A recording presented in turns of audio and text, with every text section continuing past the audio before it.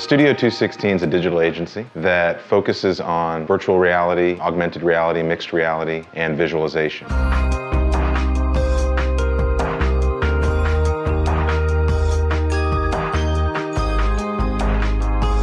Most of our clients are in the real estate space, either architects or real estate developers. When we create these environments, we're really creating them to market and sell or lease real estate.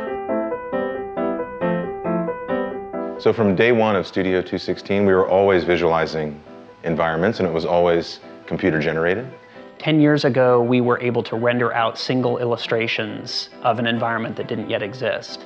Today, we have the ability to completely immerse a person and empower them to navigate wherever they want to go.